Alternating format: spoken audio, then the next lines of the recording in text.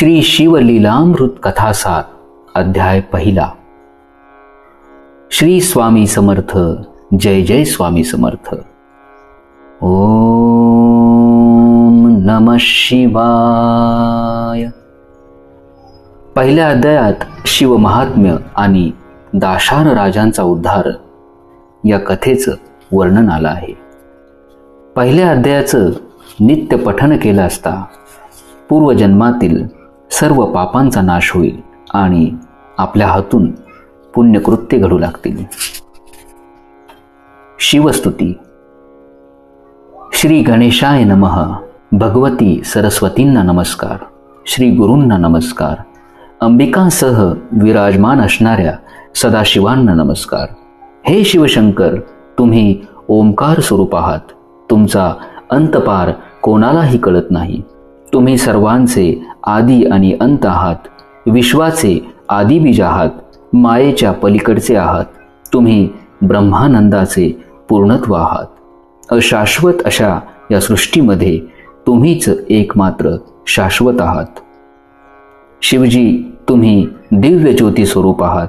सर्वात पुरातन आणि सनातन पुरुष आहात. तुम्ही अनादिसिद्ध म्हणजेच स्वयंभू आहात. तुम्ही आनंदरूपी या वनात नित्य विहार करता. तुम्ही त्रिगुणात्मक मायेचे चक्र अव्याहत चालवतात. उत्पत्ती स्थिती लय ही तुमचीच शाश्वत लीला आहे. तुम्ही जगाचे अधिपती आहात. तुम्हीच जगाचे खरे पालन करते आहात. हे ईश्वर तुम्ही दीनबंधू आहात करुणा सिंधू आहात. द्वितीयेच्या इवल्याशा चंद्रकोरीला लोक भावभक्तीने जीर्ण वस्त्राची चिंधी वाहतात. त्याप्रमाणे मी अल्पमतीने तुमचे गुणगान करणार आहे. शिवजी माझ्यावर तुमची कृपादृष्टी असू द्या. भगवान शंकराचा आशीर्वाद. श्रीधर कवींनी केलेली ही स्तुती व ग्रंथनिर्मितीविषयक त्यांचं मनोगत ऐकून दक्ष कन्यांचे पती श्री भगवान भोलेनाथ अतिशय संतुष्ट झाले आणि म्हणाले तुम्ही माझ्या अद्भुत लीलांचं वर्णन करणारा श्री शिवलीलामृत ग्रंथ लिहिण्यास प्रारंभ करा. त्यात मी प्रासादिक रसपरिपोष करीन. पंडित जसा लहान शिशूचा हात धरून त्याला अक्षरे लिहायला शिकवतो तसं मी तुमच्या मुखानं माझं समस्त गुण वदवीन. श्रोते हो व्यासांनी स्कंद पुराणातील ब्रह्मोत्तर खंडात शिवलीलांचं वर्णन केलं आहे. तोच शिवलीलामृत हा ग्रंथ होय. याची पवित्र कथा मी तुमच्यापुढे सादर करणार आहे. तरी कृपा करून लक्ष द्या. शिवमंत्राचे श्रेष्ठत्व. प्राचीन काळी नैमिषारण्यात फार मोठे यज्ञसत्र चालले होते. त्यावेळी विश्रांतीच्या काळात महामुनी सुत उपस्थित ऋषींना आणि श्रोत्यांना पुराणकथांच्या माध्यमातून मार्गदर्शनपर उपदेश करत होते. यावेळी श्रोत्यांनी विचारलेल्या प्रश्नांनाही ते उत्तरे देत होते. या चर्चासत्रानं सर्वांच्या ज्ञानात भर पडत होती. एके दिवशी शौनकादी ऋषी सुतांना म्हणाले हे मुनीश्वर तुम्ही आमच्या चित्तरूपी आकाशाला प्रकाशित करणारा चंद्रच आहात. आमच्या कर्णरूपी चकोरांना तृप्त करा. तुम्ही आपल्या प्रासादिक वाणीने अनेक पुराणे कथन केले आहेत. भगवान विष्णूंच्या लीला सांगितल्या आहेत. तुमच्या मुखातून महाभारत रामायण भागवत ऐकून आमचे कान तृप्त झाले आहेत. आता आम्हाला अत्यंत अद्भुत असा श्री शिवलीलामृत ग्रंथ ऐकण्याची इच्छा आहे. तुम्ही ती पूर्ण करावी. ही विनंती ऐकून वेदव्यास शिष्य सुत अतिशय प्रसन्न झाले आणि श्रोत्यांना उद्देशून म्हणाले शिवचरित्र परम आश्चर्यकारक आहे. याच्या श्रवणानं महापापांचं पर्वत जळून जातात. म्हणून लक्ष देऊन ऐका याच्या श्रवणानं भगवान शंकर तुम्हाला आयुष्य आरोग्य अपार ऐश्वर उत्तम संतती संपत्ती ज्ञान विवेक असं सर्व काही देतील आणि सर्वार्थानं तुमचं कल्याण करतील. ओम नम शिवाय. हा सहा अक्षरांचा शिवमंत्र सर्वश्रेष्ठ आहे. या मंत्राचा नित्य जप करावा. नम शिवाय. हा पाच अक्षरी मंत्रही तितकाच प्रभावी आणि फलदायी आहे. या मंत्राचा जप जीवांना संसाररूपी सागरातून तारून नेतो. म्हणूनच ब्रह्मादी देव आणि ऋषीमुनी देखील याच मंत्राचं पठन करतात. या मंत्राच्या पठन प्रभावानं दुःख दारिद्र्य भय शोक काम क्रोध भेदभाव याचा नाश होतो. पाठकाला समाधान प्राप्त होतं त्याला धैर्य प्राप्त होतं. श्री गुरु महात्म्य. गुरु कसा असावा तेही सांगतो. ते भगवत भक्ती करणारे वितरागी दिव्य ज्ञान असणारे सर्व कर्मांमध्ये तारतम्याने वागणारे उदार दयाळू मितभाषी शांत मानाची अपेक्षा न करणारे दांभिकपणा नसणारे असा गुरु असावा. ही गुणलक्षणे लक्षात घेऊनच श्रेष्ठ गुरूंकडून नम शिवाय या मंत्राचा उच्चार ऐकावा. शिव मंत्राचे महात्म्य सांगणारी एक कथा आष्टेने श्रवण करावी. हिच्या आशयावर चिंतन मनन करावे. हिला अनुमोदन द्यावे. त्या योगे शिवकृपेने सर्व पापे नष्ट होतील. शिवमंत्राच्या प्रभावाची प्रत्यक्ष अनुभूती येईल. ब्रह्महत्यारा असो वाटमाऱ्या करणारा असो किंवा कोणी तामसी वृत्तीचा असो या कथेच्या श्रवणानं सर्वच पावन होतात. दाशार्ह राजांची कथा. फार पूर्वी मथुरा नगरीत परमपवित्र यादव वंशातील दाशार नावाचा राजा राज्य करत होता. तो अतिशय उदार आणि सुलक्षणी होता. सर्व राजे त्याचं स्वामित्व मान्य करत होते. अशा प्रकारे त्या श्रेष्ठ राजांनी समस्त भूतलावर आपल्या सत्तेचं जणू पांघरूणच घातलं होतं. त्याच्या यशकीर्तीची पताका शरद ऋतूतील पूर्ण चंद्राप्रमाणे शोभत असे. त्याची कीर्ती निष्कलंक आणि निर्दोष होती. सर्व प्रजाजन व ब्राह्मण त्याच्या कल्याणाचं शुभचिंतन करत असत कुऱ्हाडीचे घाव घातले तरी वृक्ष जसा अचल असतो तसे ते रणांगणामध्ये निर्भयपणे उभे राहायचे. शत्रूंचा प्रलय काळच जणू तो असायचा. कोणीही त्याच्यापुढे टिकत नसे. त्यांना चौदा विद्या आणि चौसष्ट कला अवगत होत्या. काशीच्या राजांच्या रूपवती कन्या कलावती या दाशार राजांची पत्नी. सरस्वतींनाही त्यांच्या अप्रतिम सौंदर्याचं वर्णन करायला आवडायचं.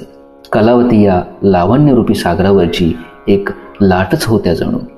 त्यांचे डोळे हरिणाच्या डोळ्यांसारखे होते. ओठ प्रभातीच्या सूर्यबिंबासमान लाल होते. त्या मृदुभाषिक होत्या. त्यांचा स्वर कोकिळ पक्षाप्रमाणे मधुर होता. या सर्व कलांमध्ये निपुण होत्या. त्यामुळे त्यांचे नाव कलावती असे होते. एके दिवशी राजांचे मन सारखे कलावतींकडे धावत होते.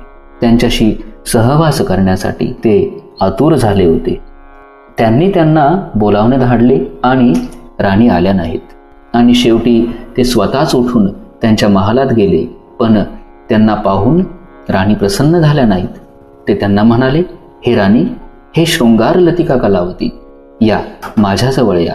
तुमच्या शुभलक्ष्मी शरीराने मला आलिंगन द्या. तुमच्या सहवासासाठी मी आतुर झालो आहे. मला नाराज करू नका.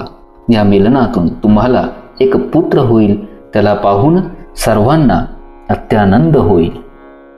तेव्हा राणी म्हणाल्या स्वामी मला क्षमा करा. मला स्पर्शही करू नका. आज मी तुमची इच्छा पूर्ण करू शकत नाही. ते म्हणाले का बरे? माझ्यावर रुसल्या आहेत का? त्यावर राणी म्हणाली आपल्या प्रिय व्यक्तीवर कोणी रागावतो काय? मी शिवजींची उपासना करत असल्यामुळे व्रतस्थ आहे आणि म्हणून तुमच्याशी रममान होऊ शकत नाही. म्हणाल्या महाराज धीर जरा माझा व्रतनियम मला मोडायला सांगू नका.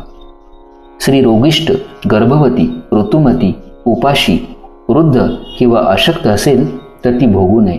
पण कामवासनेने अंध झालेल्या दाशारणांनी कलावतीचं बोलणं मनावर घेतलं नाही आणि त्यांनी दोन्ही हात पसरून त्यांना दृढ आलिंगन दिलं. तर काय आश्चर्य! त्यांना बाहुपाशात घेताच त्यांचे अंग पोळले. ते क्षणार्धात त्यांच्यापासून दूर झाले.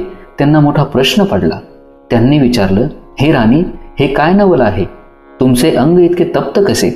त्या म्हणाल्या महाराज रागवू नका. अनुसया पुत्र दुर्वास हे माझे गुरु आहेत. त्यांनी मला शिवपंचाक्षरी मंत्र दिला आहे. त्या गुरुपदिष्ट मंत्राचा अहोरात्र जप केल्याने मी पावन झाले आहे.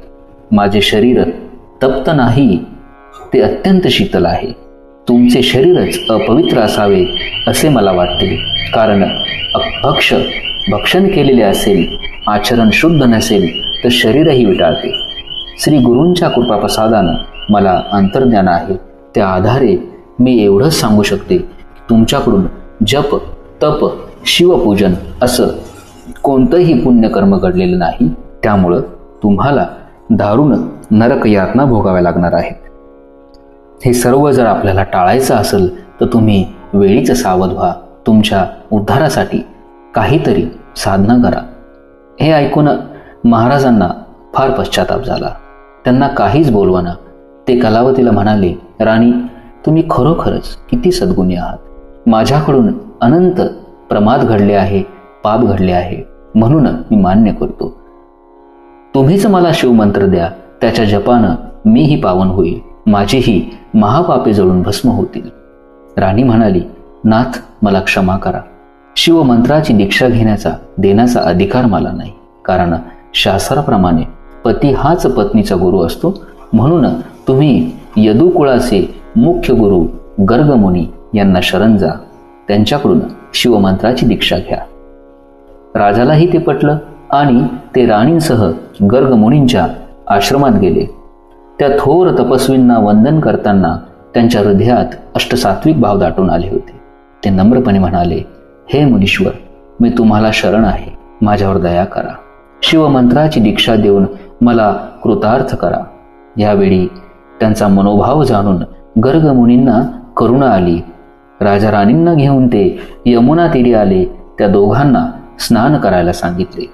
त्यांचे स्नान झाल्यानंतर त्यांच्यासह एका मोठ्या वृक्षाखाली बसले. तिथे राजांकडून यथासांग त्यांनी शिवपूजन करून घेतले. त्यानंतर त्यांनी गर्ग मुनींचीही पूजा केली. त्यांना दिव्य रत्न दिव्य वस्त्र दिली गुरुदक्षिणा म्हणून अपार धन दिले. आणि त्यांचे पाय भरून ती त्यांना म्हणाले हे गुरुदेव कृपा करून मला अनुग्रह द्या. मला शिवदीक्षा देऊन धन्य करा. खरोखरच जे गुरूंना क्षरण जातात त्यांची सेवाभक्ती करतात त्यांच्या उपदेशाचे निष्ठेने पालन करतात ते धन्य होत. पण जे गुरूंची वंचना करतात त्यांच्या नशिबी मात्र नरक यातनाच येतात. पण दाशार राजा तसे नव्हते. ते अतिशय भाविक उदार श्रद्धाळू होते. त्यांचा पश्चाताप खरा होता. त्यांची स्वतःच्या उद्धाराची तळमळ खरी होती. त्यांची शरणता खरी होती. त्यांनी निर्मळ मनाने श्री गुरूंची षोडशोपचारे पूजा केली आणि आपले मनोगत व्यक्त करून त्यांच्या सन्मुख ते हात जोडून उभे राहिले. तेव्हा गर्गमुनींनी त्यांना हृदयाशी धरले. त्यांना नम शिवाय या शिवपंचाक्षर मंत्राचा उपदेश केला. त्याच्या अनुग्रहाने ते नृपोत्तम धन्य झाले. अत्यंत अद्भुत अशा या महामंत्राचं सामर्थ्य तर बघा. गुरुमुखातून शिवनाम श्रवण करताच त्याची धग असह्य होऊन राजाच्या शरीरातील असंख्य पापे कावळ्यांच्या रूपानं त्याच्या देहातून तडफडत बाहेर पडली. त्यापैकी कित्येक कावळ्यांचे पंख जळून गेले होते. तर कित्येक कावळे बाहेर पडता पडता भस्मसात झाले होते. किंचित अग्नी पडताच शुष्क काटेरी झाडांचे वन जसे जळून जाते तसे शिवमंत्राच्या प्रभावानं त्या राजाच्या शरीरातील सर्व पापे काक रूपानं जळून गेली. ते दृश्य ते स्वतः आश्चर्याने पाहत होते. हे कावळे निघून जाताच आपला देह देवासारखा दिव्य झाला आहे हे त्यांच्या लक्षात आलं आणि त्यांना अतिशय आनंद झाला. आपण जे पाहिलं ते सत्य होतं की भ्रम होतं हेच त्यांना कळना त्यांनी गर्गमुनींना विचारले मुनिश्रेष्ठ माझ्या देहातून इतके असंख्य कावळे कसे निघाले? त्यावर गुरु म्हणाले राजा शिवनामाच्या प्रभावानं तुमची अनंत जन्माची पापे जळून भस्म झाली आहे त्याचं हे प्रतिकात्मक रूप होतं. आता तुम्ही पूर्णत निष्पाप झालेले आहात. म्हणून तुम्हाला हे दिव्य रूप मिळालं आहे. आणि हे ऐकताच राजाचे हृदय कृतज्ञते भरून आले. ते अत्यंत प्रेमाने गुरुस्तवन करू लागले. ते म्हणाले हे गुरुदेव तुम्ही धन्य आहात. धन्य आहे तो शिवमंत्र. तुम्ही पंचमहाभूतांची झाडणी करून मला सावध केलेत. माझ्या अन्नमय प्राणमय विज्ञानमय अशा देहाचं निरसन करून मला आपण पावन केलं प्रत्येक जन्मात मी अनेक दुष्कृत्य केली आहेत. कधी सुवर्ण चोरले कधी अभक्ष भक्षण केले कधी मद्य प्यायलो कधी परस्त्रीशी संबंध ठेवले गुरुनिंदेसारखे महापाप केले गोहत्या ब्रह्महत्या स्त्रीहत्या गुरुहत्या अधर्मचारण ब्राह्मणांचा छळ परनिंदा पशुहिंसा तर कधी धर्माचा लोप केला. काय हे दुष्कर्म? मी मित्रांचा द्रोह केला. गुरुदेव ही माझी जन्मजन्मीची पापे होती.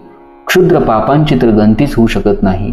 तथापि काहीतरी पुण्य गाठीशी होतं म्हणून हा नरदेह लाभला. राज्यपद मिळालं. गुरुप्रताप प्रत्यक्ष अनुभवता आला आणि आज आपल्या कृपेने सर्व पापातून मुक्त झालो. माझा देह शुद्ध झाला. अशा प्रकारे दाशार राजांनी गर्गमुनींची अपार स्तुती केली आणि त्यांचा निरोप घेऊन ते मथुरेस आले. राणी कलावती खरोखर चतुर होत्या. त्यांनी आपल्या स्वामींचा उद्धार केला. नंतरच्या काळात ते भूपती गुरुपदिष्ट शिवपंचाक्षर मंत्राचा नित्य जप करू लागले. त्यामुळे शिवकृपेने त्यांचे राज्य वाढले. तिथे कधीही दुष्काळ पडला नाही. धनधान्याची संपत्ता आली. रोगराई अपमृत्यू या गोष्टी हद्दपार झाल्या. दाशर राजांचे हे आख्यान जे लिहितील ऐकतील वाचतील या ग्रंथांचं जे संरक्षण करतील त्याच्या पठनाला प्रोत्साहन देतील त्याचा प्रपंच सुखाचा होईल. त्याला कसलीही कमतरता भासणार नाही आणि स्वतः भगवान शंकर त्यांचे रक्षण करतील. जे लोक शिव महात्म्य वर्णन करतील ते सर्व धन्य होतील. या पुढील कथा अमृतापेक्षा गोड आणि सुरस आहे. चतुर पंडित प्रेमळ गुरुभक्त आणि ज्ञानीजन ते श्रवण करोत. श्रीधरांना वरदान देणाऱ्या पांडुरंगानेही आपल्या मस्तकी शिवलिंग धारण केलं आहे. ब्रह्मानंद हा परिपूर्ण आणि अभंग असतो त्याचा कधीच बेरंग होत नाही. स्कंद पुराणातील ब्रह्मोत्तर खंडात असलेला शिवलीलामृत हा कथाभाग सज्जनांनी नेहमी श्रवण आणि पठन करावा अशी विनम्र प्रार्थना आहे.